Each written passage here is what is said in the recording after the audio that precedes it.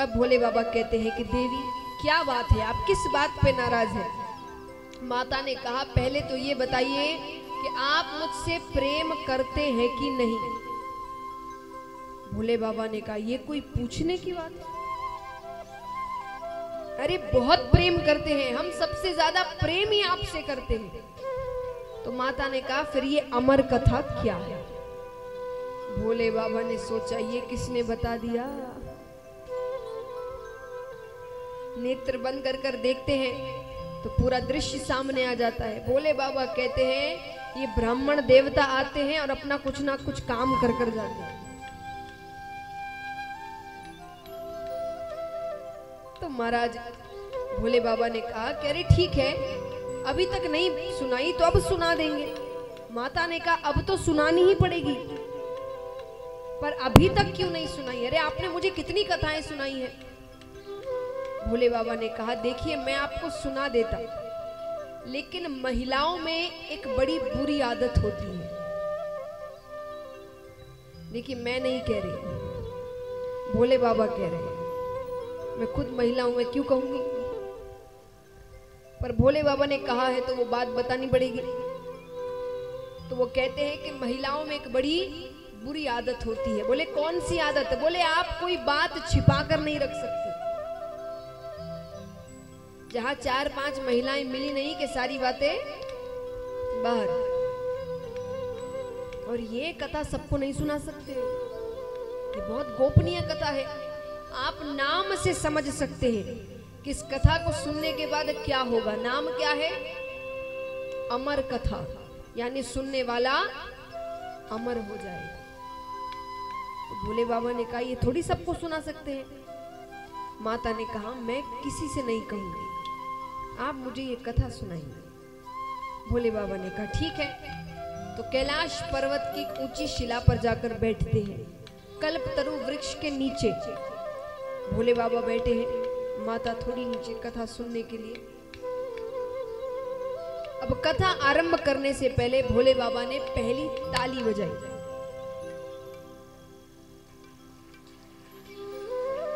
एक ताली। इतनी नहीं। पहली ताली बजाई। तो पहली ताली बजाते ही जितने जीव जंतु थे कैलाश पर्वत पर, वो सब कैलाश पर्वत छोड़कर चले गए। यही ताली का महत्व होता है। आप किसी कथा सत्संग में जाते हैं तो कोई महाराज जी जो कथा कर रहे हो या गायक, कलाकार, भजन गा रहे हैं, वो आपसे ताली बजाने को बहुत कहते हैं। तो कई लोग बड़े झुंझला उठते हैं। क्या बार बार ताली ताली बजा रहे हैं? तो ताली सिर्फ़ इसीलिए नहीं, बजाने को कहा जाता कि भाई दिखने में अच्छा लगता है और आवाज़ अच्छी आती है। नहीं, ताली के बहुत महत्व है महाराज। अब देखिए, स्वास्थ्य के लिए क्या क्या महत्व है, ये तो आपको स्वामी श्री रामदेव बाबा जी बताते ही रहते हैं कि ताली बजाने के क्या क्या महत्व है। बाकी सत्संग में क्या महत्व है? जब आप सत्संग में आते हैं तो आपका और भगवान का मिलन होता है। आप दुनिया की चिंताओं को भूलकर केवल प्रसन्नता में होते हैं। अब यहाँ पर सब बैठे हैं, कितनों को चिंता हो रही है कि भाई घर कैसे चलेगा, कल का काम कैसे होगा, कोई चिंता कर रहा है? सब हंस रहे हैं, भजन सुन रहे हैं, ताली बजा रहे हैं। और यही घर पर रहो, काम कर, कुछ ना कुछ दिमाग में चलता ही रहता है। फ़ोन आते ही रहते हैं। कथा में जीव सांसारिक चिंताओं को भूलकर केवल प्रसन्नता में होता है। लेकिन ये भी इतना आसान नहीं है ना। जैसा कहा गया, कैलाश पर्वत के जीव जंतु सब छोड़कर जाने लगे। तो ये जीव जंतु कौन है? ये मोह माया रूपी जीव जंतु है जो आपको भगवान से मिलने में रोक लगाते हैं। सबसे पहला अहंकार। जिसमें अहंकार होगा, वो ठीक से ताली नहीं बजाएगा। उदाहरण, आप कई बार देखते होंगे बड़े बड़े कथाओं में, कई बार बड़े बड़े लोग आते हैं जो बड़ी बड़ी पदवी पर बैठते हैं। बहुत धनपति होते हैं या बड़ी पोस्ट पर है, आते हैं, शांति से बैठे रहते हैं। चुपचाप ताली नहीं बजा रहे, कुछ अब उसी व्यक्ति को अपने घर पर, अपने पोते पोती के सामने उसको हंसाने में, ताली बजाने में शर्म नहीं आती। पर कथा में आकर ताली बजाने में बड़ी शर्म आती। और कोई ज़्यादा ही ज़बरदस्ती करे कि भाई ताली बजाना तो बड़े ही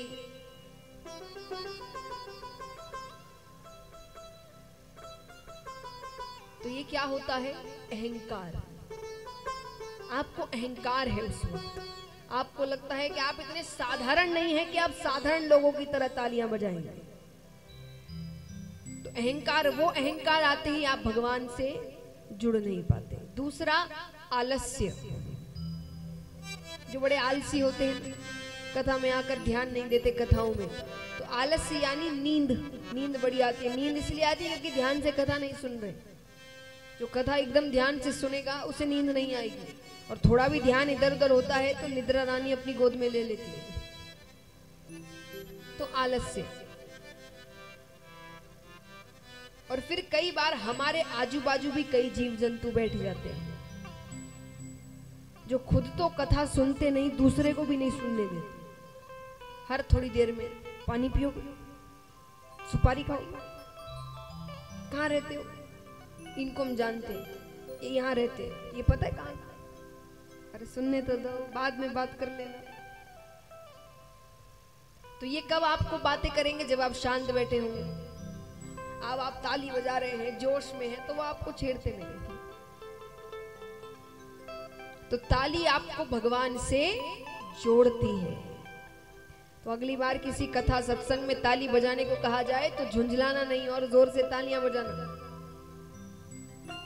तो इसीलिए महादेव जी ने पहली ताली बजाई। तो जितने कैलाश पर्वत पर जीव जंतु थे, वो कैलाश पर्वत छोड़कर चले गए। दूसरी ताली बजाते हैं। तो महादेव जी का त्रिशूल कैलाश पर्वत की तीन बार परिक्रमा कर कर आता है कि कोई छिपकर तो नहीं बैठा, क्योंकि अमर कथा है। तीसरी ताली बजाते हैं। तो सुगंधित हवाएँ बहने लगती है। भक्ति में वातावरण हो जाता है। अब महादेव जी कहते हैं कि मैं अब कथा सुनाना आरंभ करने वाला लेकिन एक बात का ध्यान रखना, क्या? ये देखिए, ये पार्वती जी के माध्यम से आप सभी को समझाया जा रहा है कि ये कथा ध्यान से सुनना।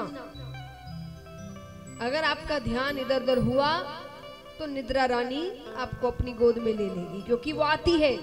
इस कथा में वो भक्त की परीक्षा लेने आती है, हर भक्त के पास आती है। अगर भक्त अच्छे से कथा सुन रहे हैं, तब तो चली जाएगी। और थोड़ा भी ध्यान इधर उधर हुआ तो एक दो झपकी तो लगेगी। तो महादेव जी ने माता से कहा कि ध्यान से कथा सुनना। माता ने कहा, ठीक है, लेकिन फिर भी। भोले बाबा कहते, क्या पता कभी मैं ही कहता, कथा कहते कहते नेत्र बंद कर लू? नेत्र बंद यानी महादेव जी नहीं सोएँगे, पर वो लीन हो जाते हैं भगवान में। तो नेत्र बंद करते करते वो कथा कह रहे हैं।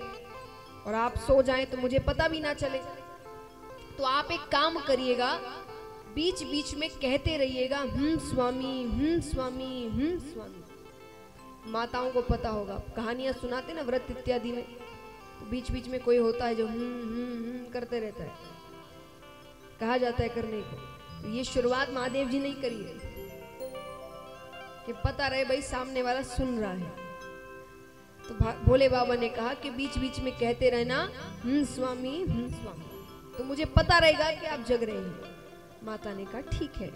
कथा आरंभ करते आरंभ करते ही उसी पेड़ पर एक सुवे का अंडा पड़ा हुआ था। अब क्योंकि अंडा था तो त्रिशूल को पता नहीं चला कि कोई जीवित जीव है। तो वो तो परिक्रमा कर कर आ गया। कथा आरंभ होते ही वो अंडा फूट जाता है। उसमें से एक शूक बालक निकलता है। तो महाराज, वो शूक बालक भी बैठे बैठे कथा सुन रहा है। कुछ आवाज़ नहीं, चुपचाप कथा सुन रहा है। थोड़ी देर तो माता कथा सुनती है। हम्म स्वामी हम्म स्वामी, कह रही है। थोड़ी देर बाद सो जाती है। अब भोले बाबा कथा कहते कहते नेत्र बंद कर लिए उन्होंने। वो कथा कहते जा रहे हैं। अब यहाँ पर तोते का ये स्वभाव होता है कि वो कोई शब्द बार बार सुन ले तो वो उसे दोहराने लगता है। अब माता को वो इतनी देर से सुन रहा था, हूँ स्वामी हूँ स्वामी कहते हुए।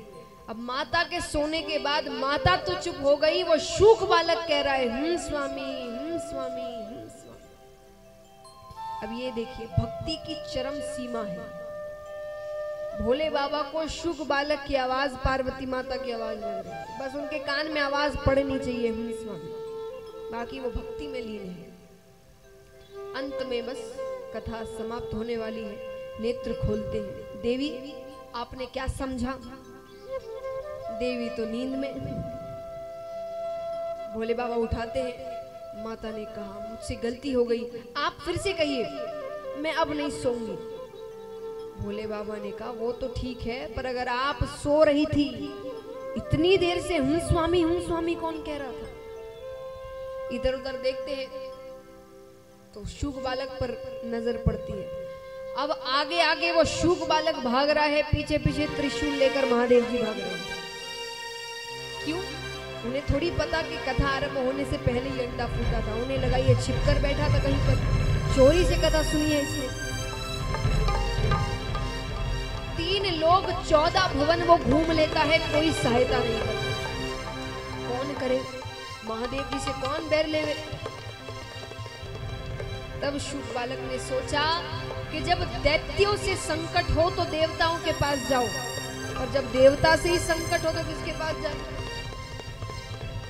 तो ब्राह्मण देवता के पास जाओ।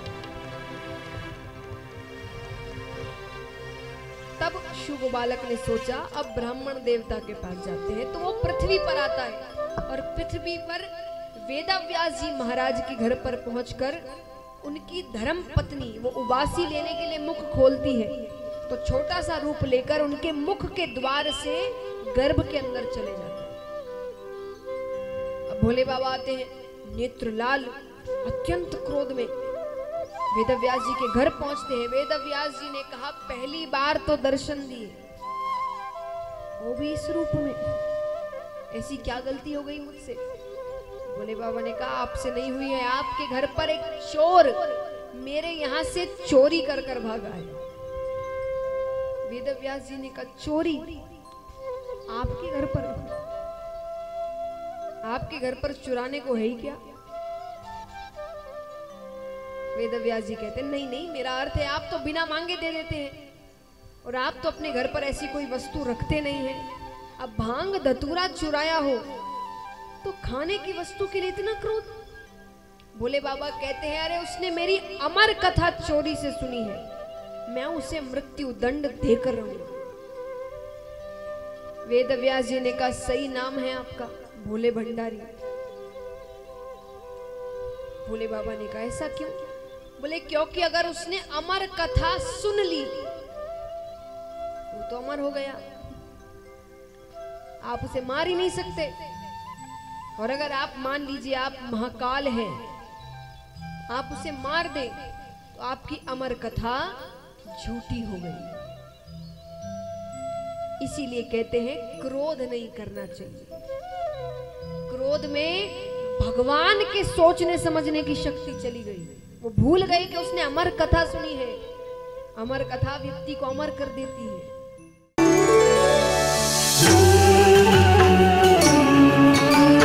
संस्कार संस्कार। संस्कार। द चैनल ऑफ़ इंडिया हमारी संस्कृति हमारी विरासत।